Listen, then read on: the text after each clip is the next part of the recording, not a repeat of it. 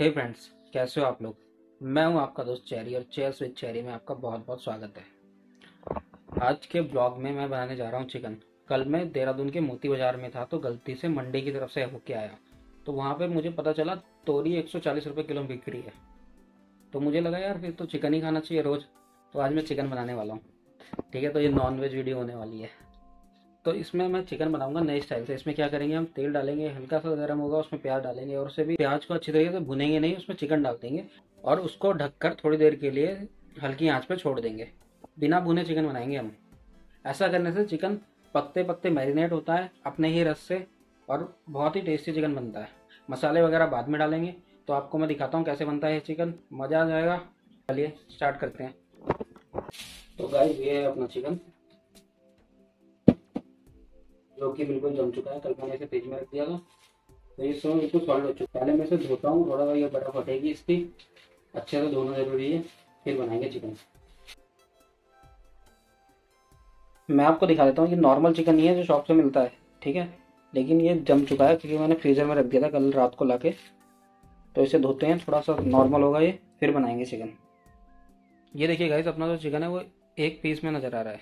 तो पहले मैं इसे पानी में डाल के थोड़ी देर के लिए छोड़ देता हूँ। ताकि ये थोड़ा नॉर्मल हो जाए, उसके बाद इसे तैयार करेंगे। तब तक मैं प्याज वगैरह की कटिंग कर देता हूँ।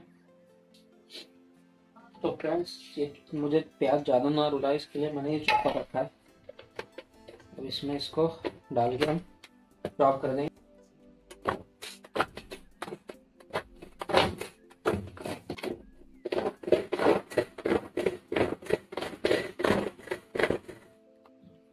प्याज हमारा रेडी हो गया। है ही बढ़िया चॉप हुआ है और बहुत ही जल्दी चॉप हुआ है। तो अगर आपको ये चॉपर चाहिए तो मैं इसका लिंक डिस्क्रिप्शन में डाल दूँगा। बहुत बढ़िया काम करता है। ये थोड़ा टूट गया है। यहाँ से टूट गया है, मगर फिर भी काम करता है। हमने इंतज़ाम कर दिया इसका जुगाड़ करके। नेक्स्ट स्टेप इज़ तेल को रखना है कढ़ाई में। हल्का गर्म करना प्याज डाल देना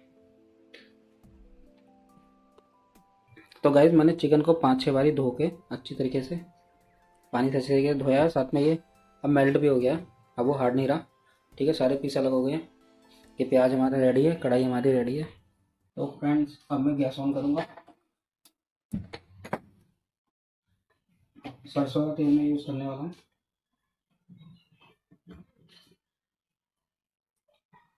तेल थोड़ा ज़्यादा रखेंगे। तो सरसों का तेल मैंने डाल दिया हल्का गर्म होगा उसमें हम प्याज डाल देंगे। पूरा गर्म नहीं करेंगे।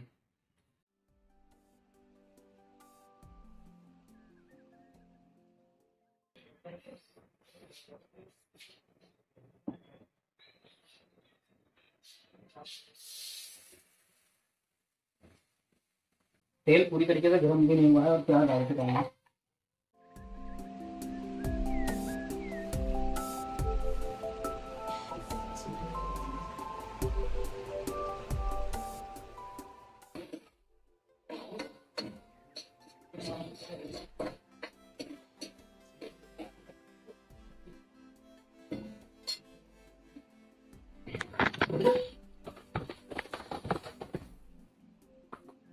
प्याज अभी भुने भी नहीं है।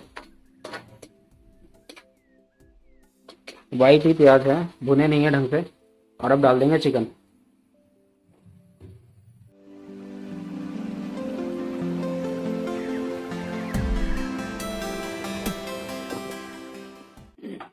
चिकन डल चुका है। इसको एक बार मिक्स करेंगे।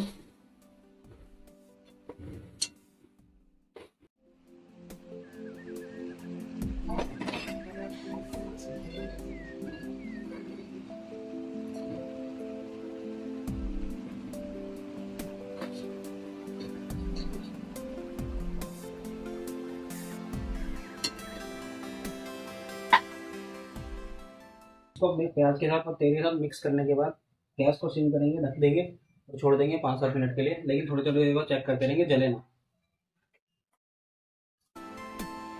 थाली मैंने ले लिया इसे बहुत अच्छी तरीके चारों तरफ़ से कवर कर देती है।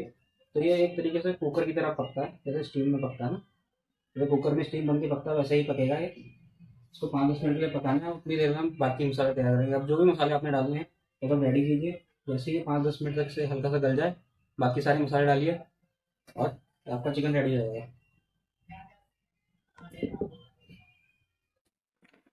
तो जितनी देर में मेरा ये चिकन अपने आप ऑटोमेटिक मैरिनेट हो रहा है, अपने ही रस से, उतनी देर में मैं कर रहा हूँ दूसरा मसाला तैयार। इसमें है टमाटर, प्याज, हरी मिर्च और ये टमाटर मतलब लहसुन। गार्लिक अपने हिसाब से आप डाल लीजिए। मैं थोड़ा ज़्यादा डाल रहा हूँ अपने हिसाब से डाल सकते हैं।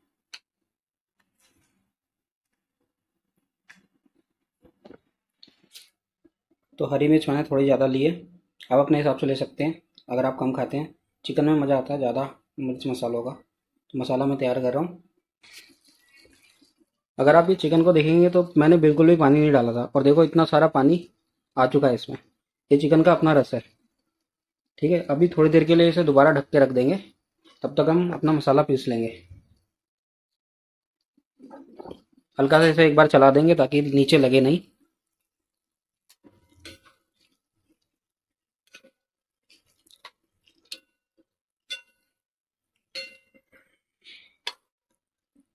देखो चिकन ऑलरेडी गलना भी शुरू हो गया। ये देखो, कितना रस है इसमें।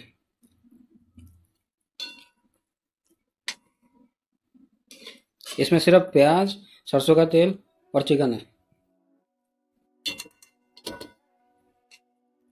इसको दोबारा से ढकेंगे, हल्की सी तेज करेंगे आँच, क्योंकि ज़्यादा ही सिम पे है, और दोबारा से रख देंगे थोड़ी देर के लिए। मिक्स वाला मसाला तैयार है, जिसमें है टमाटर, हरी मिर्च, अदरक, लहसुन। ठीक है, ये डाल चुके हैं। ये तैयार हो गया है। अब एक बार चेक करेंगे।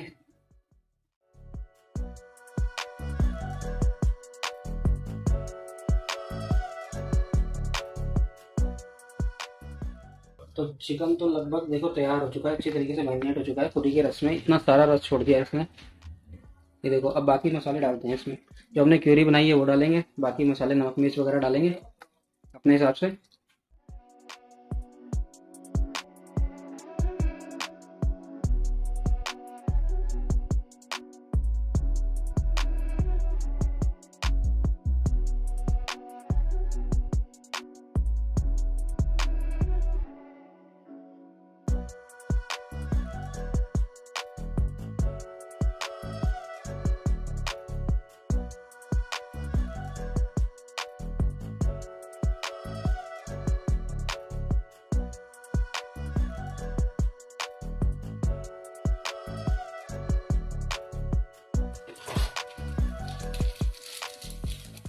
मैंने इसमें ऐड किया है नमक, मिर्च, काली मिर्च, हल्दी, गरम मसाला, चिकन मसाला।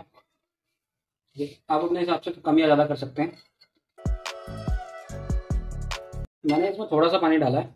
वो जो जार में जो मसाला लगा हुआ था, उसको निकालने के लिए जो पानी डाला है, बस वो डाला है। आप उसको ना भी डालें तो भी काम चल जाएगा।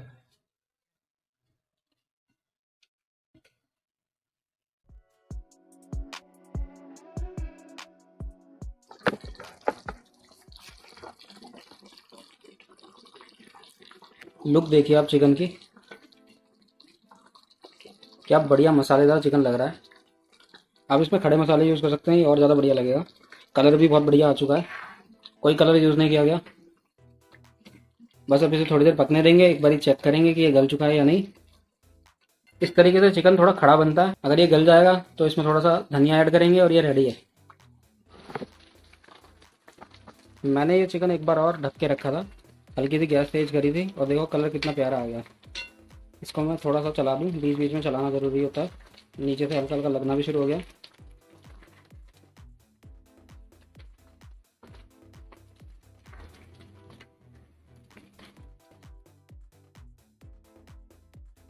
पूरी तरीके से रेडी नहीं हुआ है।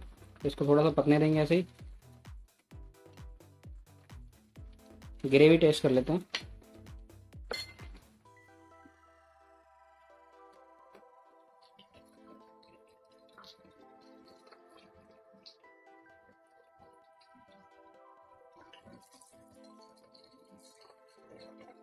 चिकन अभी रेडी नहीं हुआ है। थोड़ी देर और ऐसे ही पकड़ने, पकने देंगे इसे। इसको सिम कर देते हैं और थोड़ी देर ढक के रख देते हैं। तो ये है इसकी ग्रेवी देखने में बहुत ज़्यादा मसालेदार लग रही है। टेस्ट करके देखते हैं।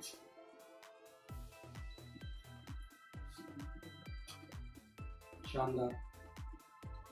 बहुत ही बढ़िया मसाला बना हुआ है।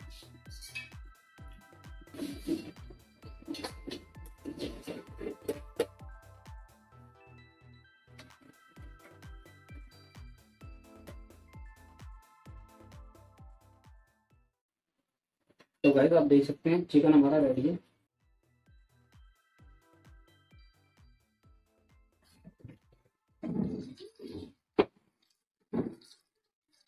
तो ये आ रही है इसकी लुक देखने में बिल्कुल ही फ़र्स्ट क्लास लग रहा है। और गल भी चुका है।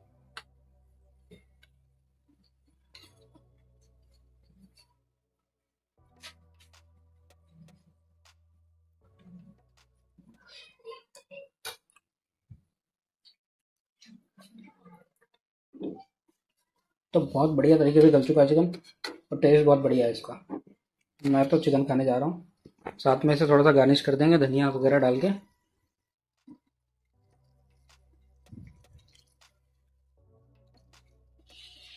तो ये है फ्रेश हरा धनिया कटा हुआ। पहले से काट के रखा है। तो ये हम डाल देंगे थोड़ा सा इसे गार्निश करने के लिए। थोड़ा ज़्यादा डाल दूँगी। अच्छा लगता है। तो ये देखो कितना प्यारा लग रहा है।